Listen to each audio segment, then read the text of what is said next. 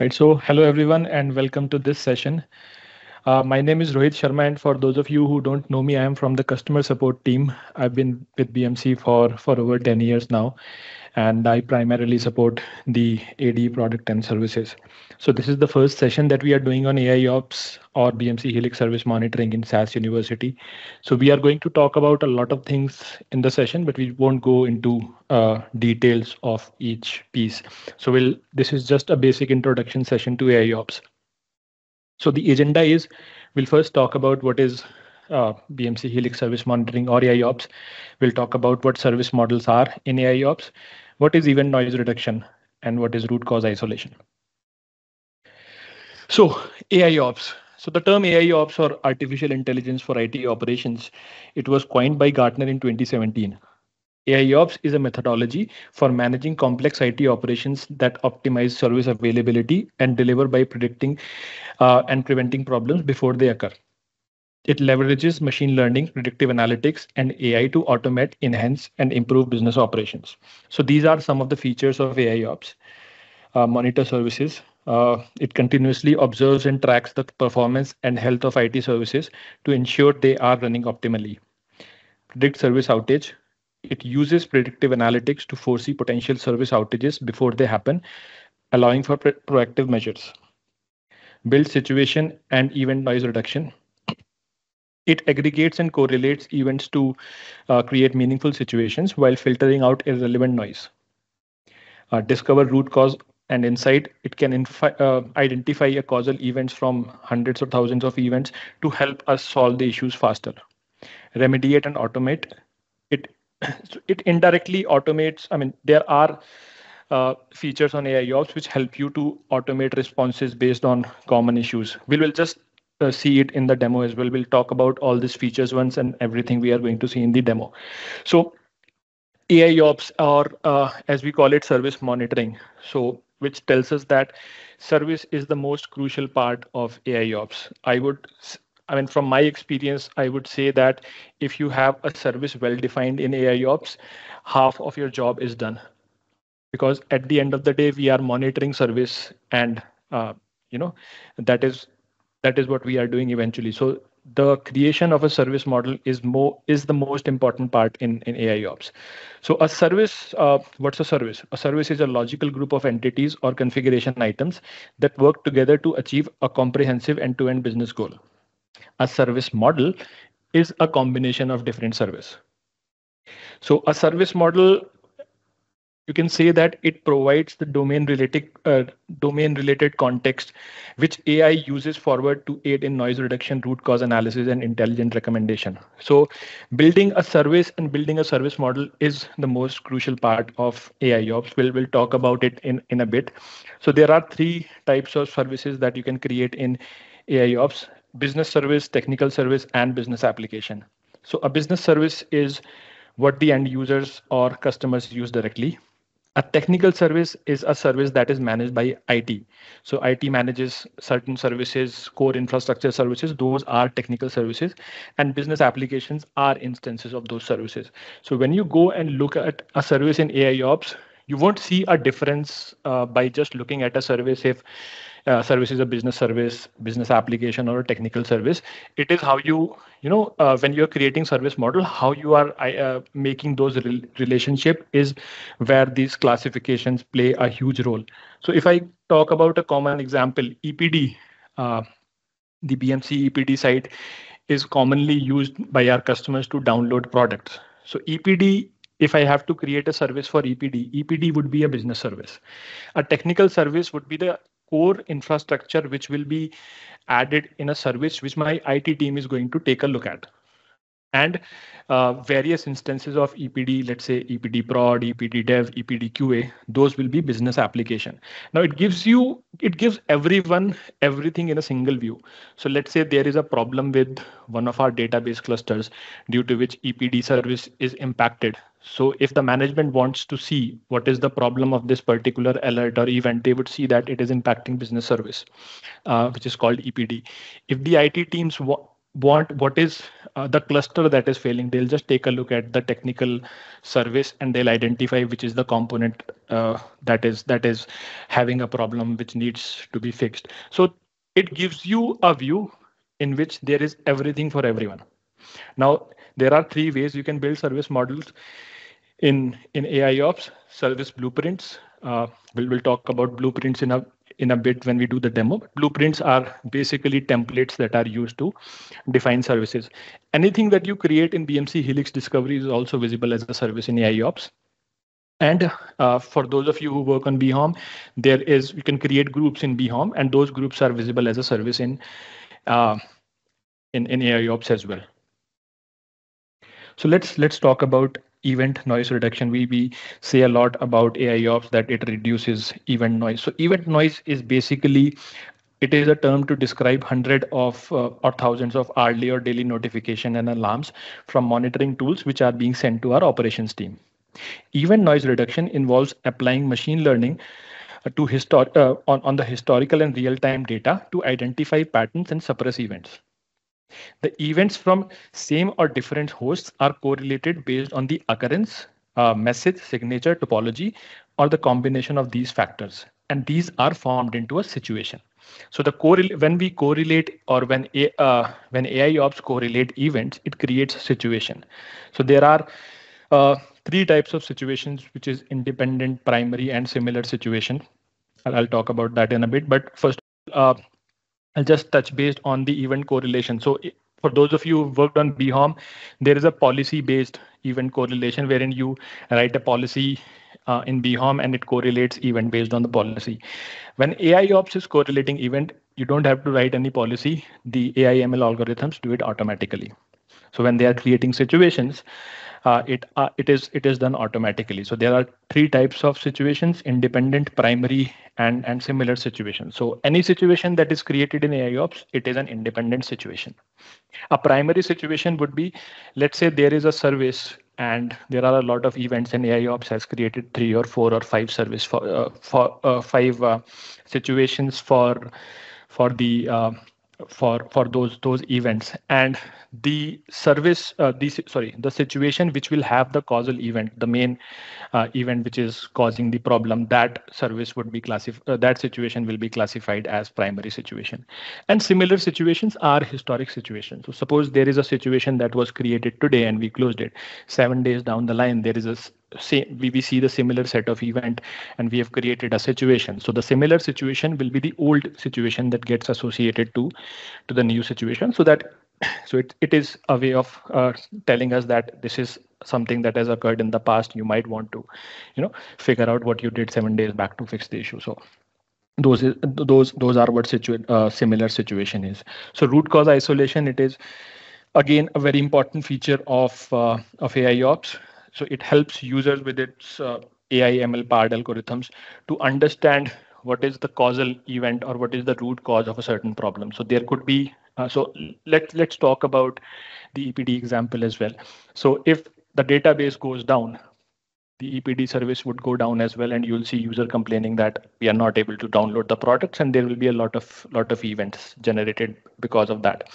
But the root cause of all of this is let's say that the database cluster is down. So ai ml with uh, will is going to let you know that this is this is what the problem is. Once you fix the problem everything else is going to get fixed automatically. So this root cause isolation feature is helping you to reduce the mean time to resolve issues and you know quickly identify and fix fix the problems. And the last feature is is prediction uh, for any AIOps solution, prediction is is the most important thing, and we have prediction feature in our AIOps solution as well. So prediction again, it it uses ML uh, algorithms to spot problem in data, and it wants the the operators or IT team before the problem is uh, before the problem actually occurs. So it identifies pattern based on the historical data, and it sees that okay, after 12 hours you are going to have a problem, and an event is created in BHOM with the uh, class prediction so that everybody knows that, okay, there is, uh, we have identified that something is going to happen in ne next, next 12 hours. So this is about prediction feature. We'll, we'll just see prediction in, in the, uh, when we when we do the demo as well. So this is what I, I wanted to you know talk about what are different features of AIOps and what are the terms that we are going to use in demo. So let's just quickly uh, jump on on the demo part for now.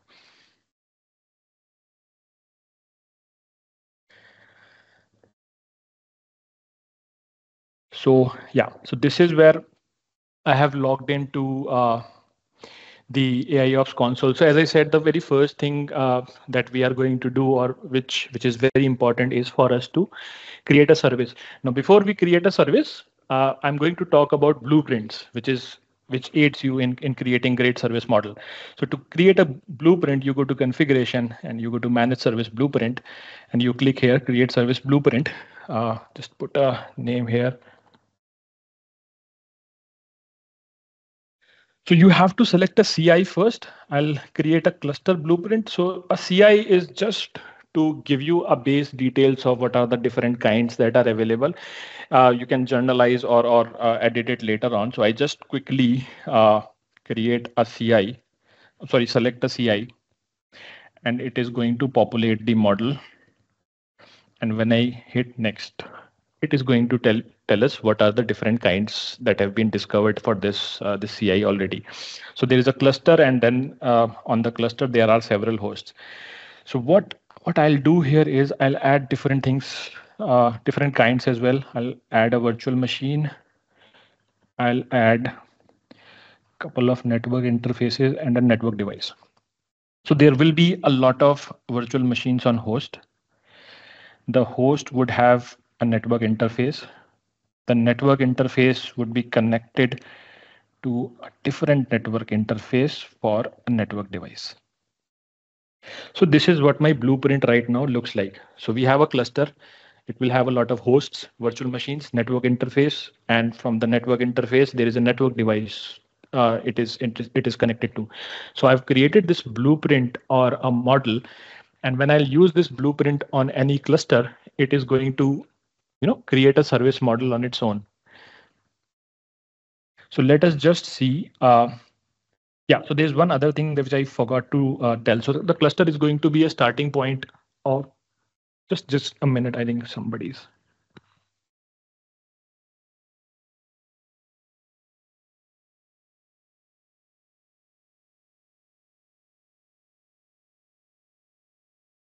Sorry. Yeah, so there was a feedback that I'm going a little too fast, so I'll slow down a little bit. Uh, so this cluster, uh, so as I said, this cluster is the starting point of uh, uh, when when you're selecting or when you're creating a service model out of the blueprint, a cluster is going to be the starting point of uh, of the of the service model. So here you can uh, you know apply some filters wherein you can notify the users that this is where you want to select a cluster. So if you notice the blueprint that I'm creating right now, the blueprint the blueprint is is going to be created for a cluster uh, service. So I'll just put a note here, which is telling uh, the user or the operator that uh, we need to select a cluster and then a blueprint would be created. So I'll just put a note for somebody who is using uh, the cluster. And these are the attributes. So uh, the operator who is going to uh, use this blueprint to create a service, they'll select a cluster name. I'll just save it here. And yeah, that's it. So I've defined the filter condition here as well.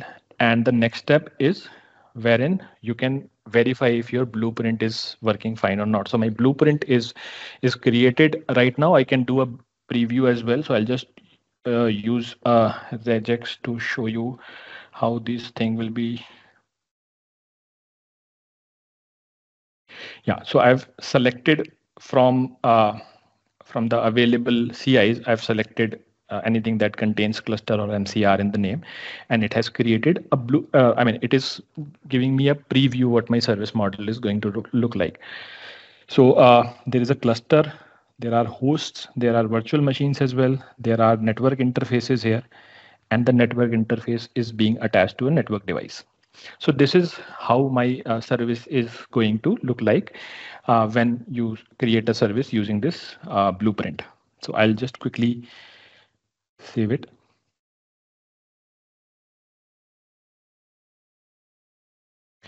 I'll close it. So once you create a blueprint, it is disabled by default. So you have to enable a blueprint after its creation. And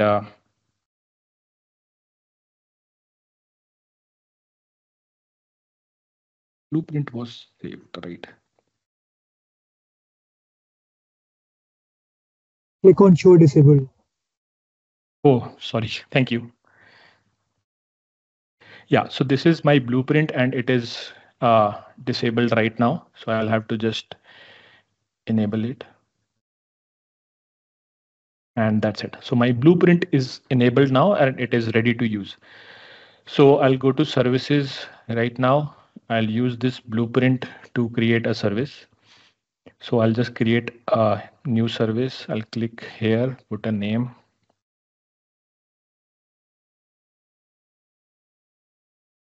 So uh, the kinds are available. I'll just select the business service here. And uh, this is where I can specify which blueprint that I want to use.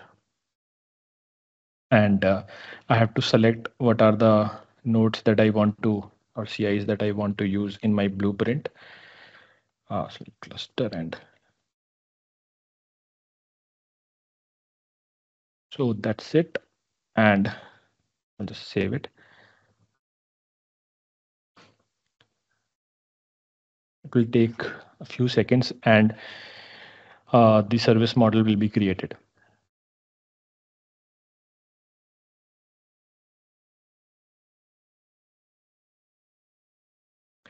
Okay, so uh, let's just go back. There are few things that I want to talk about in service model, which is health indicators, events, and health profile. But I'll just show you the service first, and then we'll talk about these items in a bit as well.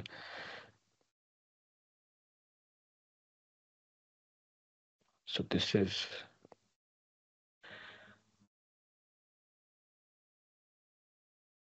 this is my uh, this is how the service model looks like and these are all the CIs which are a part of my uh, service model. So there is one other thing. So if you notice here, uh, there are a lot of uh, virtual machines that are being, you know, uh, that are a part of my uh, my service model, which I've created using Blueprint. So you can, I mean, edit the Blueprint to filter out certain things based on the name as well.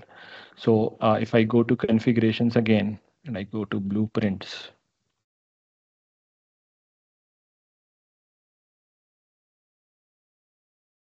let's do an edit.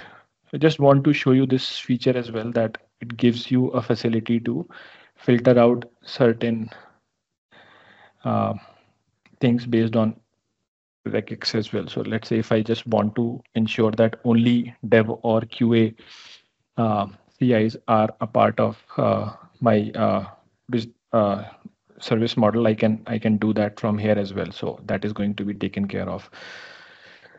Uh, let's go back to our services. Yeah, so I'll just open, uh, there are a lot of things in the services that, that I want to talk about. So I'll just open a different service on which uh, there are events and a lot of data so that we can talk about it. So this is a service which is which is actually actually impacted. So I'll just talk about what are different fields on this uh, service page. So at the top, you'll see the service name, the impact category, minor, critical, major. It is derived from the health score if you just hover the mouse over here, you will see um, how this minor is being identified based on the health score, the number of incidents that are being created, uh, the number of total events and the number of impacted events. so the total event is the count of, uh, so let's say there are 10 CIs in, in the, uh, in our uh, service model and we have one event each for the CI. Uh, so the total event would be 10, but you can configure your service to filter out some of the events. You don't want uh, service health to be impacted for all the CIs. So you can filter uh, your service model so that the service health would be impacted just for particular set of events. And those events are classified as impacted events. So this is the health timeline which is which tells you that what is the health score over a period of time. And go back up to seven days. And here on the help timeline, you'll see if there is any incident or event created, uh, generated, you'll see those on the health timeline as well. And then there is this, uh, the service model is being shown here. If you have different uh, service models, it will be in the service hierarchy. If there is a situation, we'll talk about situation as well. Uh, when are they created or what are the different criterias? The situations are listed here. The analyze root cause, which tells you what is the causal event it is going to tell you uh, the the root cause or the causal event would be listed here. And at the end it is service insights so this is a new tenant. So there is not a lot of things that i've done here but if your service is pretty old and uh, you have i mean the service has gone through a lot of event situations incidents etc so those insights for the service would be listed here so there are other things that I want to talk about in the service now. For example, we, we touched about uh, total events and impacted events. I gave you an example that you can filter out those, those events. So let's see how do we do that. So if I edit service, it takes me to the service page, which, which is similar to what, what we saw uh, when we were creating the service. And there are three things at uh, three uh, things that you can do to this service from the top. So the first one is uh, health indicators, events, and health profile. So let's talk about the health profile first. So this health profile, it is also called as balancing profile. So you can add balancing profile while building a service model. So basically, uh, let's say if you have a database service which uh, which is connected to uh, which is a cluster and connected to 10 different data uh, 10, 10 database hosts and if there is an situation um, if there is a problem with one of the uh, hosts uh, the service would be impacted but you don't want that if there is a problem with one host the service health score is impacted you want okay if if more than five hosts have problem only then I want my service to be impacted. So those balancing settings you can do from the health profile. So if I, you click here and then click on the service name, you can create a health profile here based on whatever CIs you have added there. And at the end, you would see that there is uh, based on percentage or based on count, you can, uh, I mean, you can configure this setting. The other thing is uh, it gives you uh, uh, the ability to control how the health score is going to be impacted as well. So for now, for every critical uh, event, the health score will be reduced by 10. If you want this to be reduced by 20, you can make the setting here, save it, and it will be done. The other thing is, uh, which is event. So what I was, the example that I was talking about, the event wherein you can create uh, you can create event filter that okay so and so event would be would be uh, we i just want this these events to be considered while uh, forming uh, while while uh, calculating the health score. So you can do it from here. You can create an event rule and uh, you can add a filter. I'll just quickly show this one because where we get a lot of questions around the total event and impacted event. So i'll quickly just show this example. So here i am creating an event rule which says any host which equals ABC, so which is a non-existent host, only that that event coming from that host will be used in calculating the health score. So we'll just check in a bit what what health score would would be like. So I've created this event rule, and then there are health indicators. So health indicator, what is uh, what is a health indicator? So let's say you have a lot of CIs in in your service model. And there is a ci which you feel is quite critical. And if there is any resource crunch on that ci you want uh, an alert to be generated. Now your organization policy says that whenever the cpu utilization would exceed 80% or 85% you'll get an alert. But you want for those three or four cis the alert to be generated after 50% so that you know before it's too late. So you can add those hosts uh, in the uh, in the health indicator. The metric data would obviously come from BHOM, but when you add those hosts here, uh, let's say if I select a host, this simulator host I select and uh, CPU and utilization. Can add a metric here, save. And this is uh, a health indicator would be created for uh, this particular host. Now, what this health indicator allows you to do, it allows you to create an alarm policy as well. So you can hit on this create alarm policy uh, button here and it is going hyperlink here and it, it is going to take you to BHOM and then you can create an alarm policy specifically for the hosts defined here. So this is again a very important part while creating service models as well. If you feel that there are certain CIs which are more important than others, you can uh, you know create health indicators for this as well. So this is how you you create health indicators there. And uh, yeah, so we have created the event uh, filter as well. We, if you remember, I created it for the that ABC host. So I, when I save it and I close it, so if you notice, the uh, impacted event is gone. So even though there are situations, there are events there, but my service health score right now is 100 because I want uh, alerts that are to be uh, the alerts that are being generated uh, the, the alerts which are being used to create health score they are just for that abc host and which is a non-existent host. So if i delete the uh, event rule in few seconds my health score will again go back to 90 so we get questions from uh, a lot of customers about these event rules and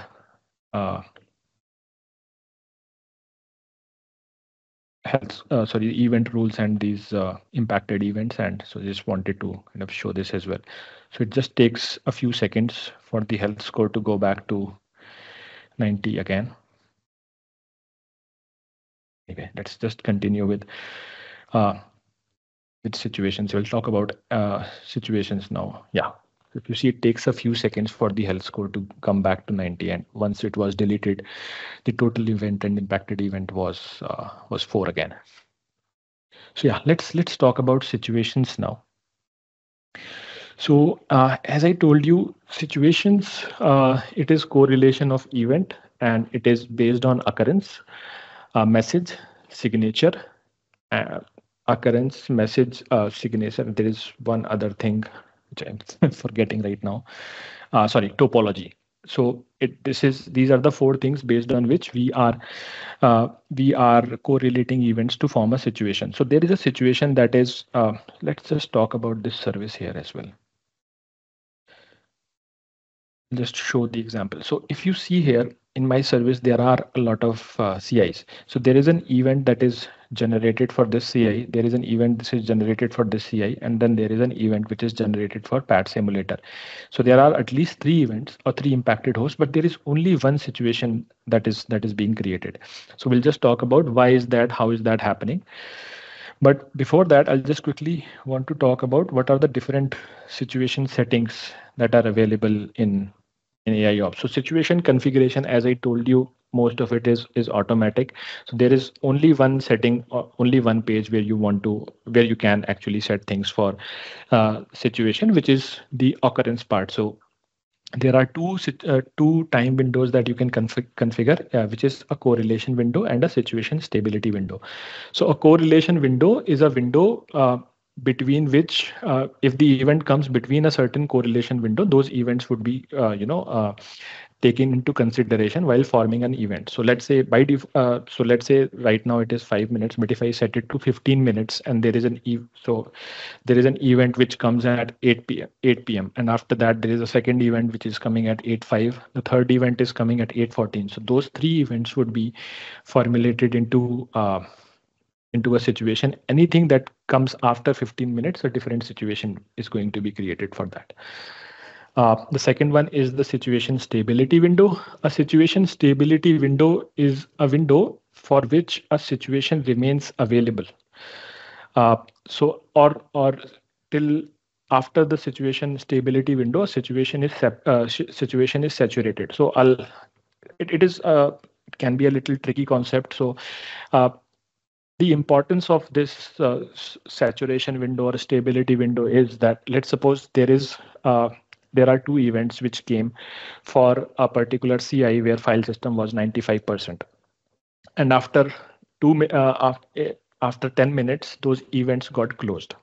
And there is a situation that is created there already. Now you have set the situation stability window for 30 minutes. Now, after 10 or 20 minutes, if an event comes in for the same issue that happened 10 minutes back, which was a file system problem, the uh, the the new uh, the events will be added into the situation which is created for those closed events. We are not going to create a new uh, situation because the situation is not saturated. So it is for these scenarios where situation uh, uh, stability window comes into picture. We will create a situation active for that amount of time so that if there is a recurring problem, we can utilize the same situation and we are not creating multiple situation or we are not causing situation noise in that scenario.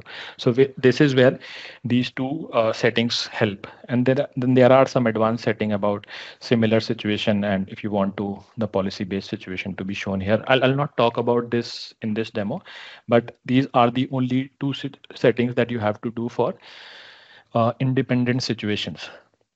So yeah, let's just uh, see our service again.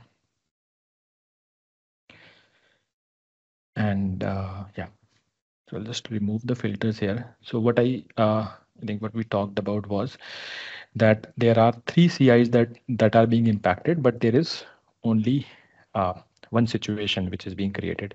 So let's go to bhom and see what is uh, what do we see there?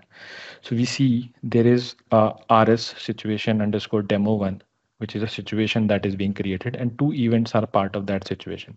So if I click on the number two here, it sees those two, uh, the events are being generated for those two CIs and those two CIs are a form, uh, like we have correlated those two events into a situation.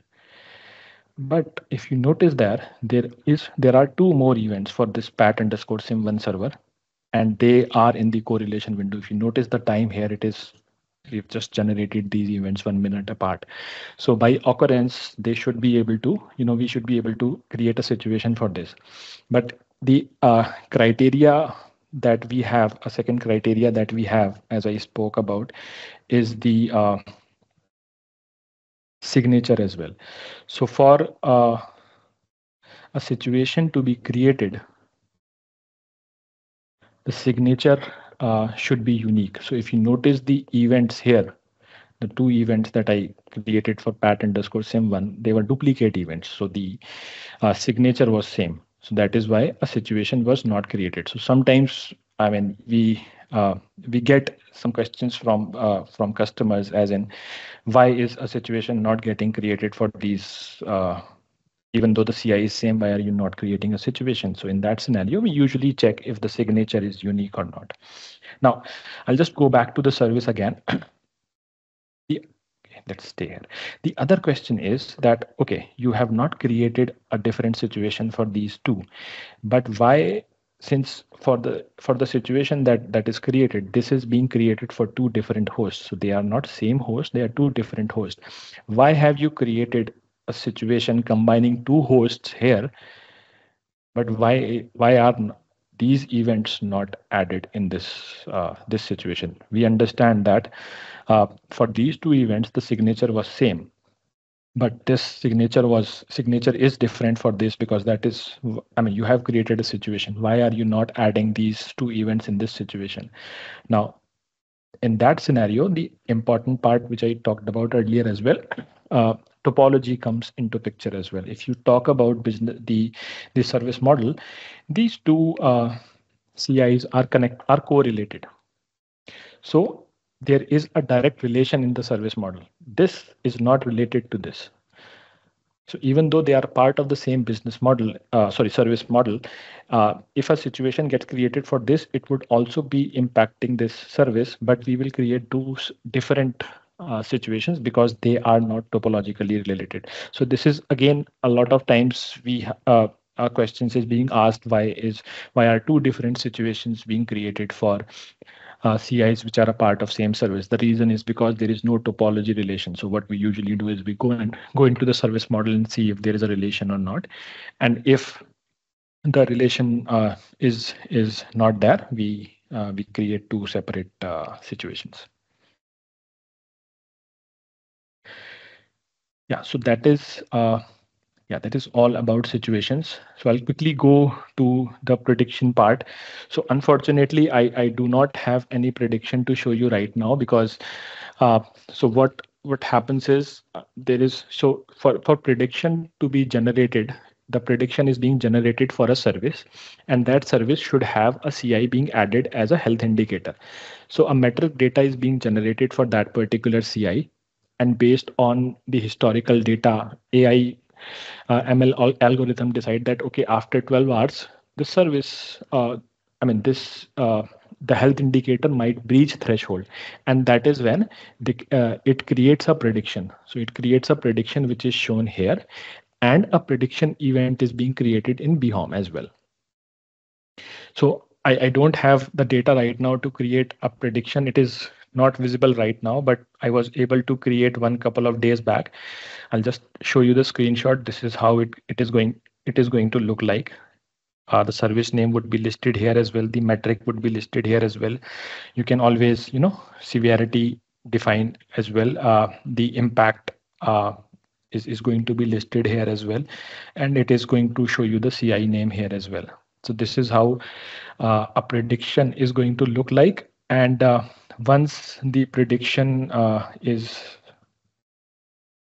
created event is automatically generated in bhom as well with, with the class prediction. So I don't have uh, uh, the data right now to, to generate a prediction, but this is basically how it is going to look like. So you don't have to configure anything. The only requirement is that you need to have a service model with a health indicator. That's it. And if it is in place, uh, if there is a potential breach, uh, we, we detect a potential breach in the next 12 hours, we are going to create a, a prediction. Uh, we are going to create a prediction uh, pre prediction event in bhom. Uh, yeah, so the last thing I just want to talk about is the the overview page. I, I wanted to keep it at last because there are a lot of things which we have talked about which which are listed here. So the total events uh, are listed here for all the services which are available in bhom total anomalies if there are any anomalies and the number of incidents. So again uh, so this the the total number of incidents we are getting from the info event that that gets uh, created in bhom so it is not directly coming from itsm so uh, i know i've not talked about intelligent automation but you can use intelligent automation to if there are uh, to integrate bhom with ITSM so that whenever there is an event in bhom, a corresponding incident uh, is created in ITSM and then ITSM sends back an info event to bhom. So based on the info events that are there in bhom, we are calculating the total number of incidents. The MTTR is again uh, based on how soon we are uh, resolving those events and incidents. The noise reduction is again based on the number of events and how many situations that we have we have created. And uh, what else? Top five services are listed here, and uh, the top uh, five situations are are also also listed here as well. And you can go back up until yeah, yeah, you just configure it till whatever time you you want. So this is all I wanted to talk about in uh, in in this introduction session. I know there are a lot of things which uh, which I have not talked about, especially when when we are creating these service models. You can create a lot of complex service models, but I just want to give a brief introduction of what uh, what blueprints are and how how you can create those service models. There is a lot of useful things that you can do with the similar situation as well. There is remediation as well. Actually, I've not talked about remediation. I can you know use this opportunity to show it show it to you here. So if you go to situations, uh, one of the things that I talked about was that it offers you remediation capabilities as well. So the remediation part is being taken care of by intelligent automation you have to write the auto uh, the automation here, but it is visible here. So if you want to, you know, if there is an automation that is created and we identify that you can use this automation, then this trigger automation is automatically populated, or you can create or request one here as well. But that is that is a whole different beast when we talk about IE. I won't talk about this right now, but I just wanted to show you that uh, the remediation option is is also available here yeah so this is this is all what i wanted to talk about i'll just uh, take a pause and in, in case you have any questions, uh, you can you can let me know. I have John O'Toole and Shreya on on the call as well. So in case I'm not able to answer, I'll have those two assist me in answering any any questions that you have.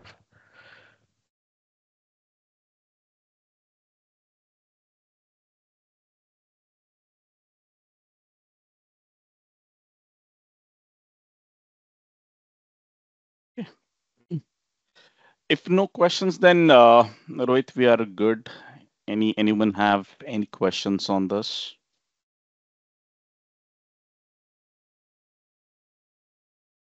Okay, I will consider this as no. Um, so Rohit, anything else you would like to show, or Uh, we are we are good with this now?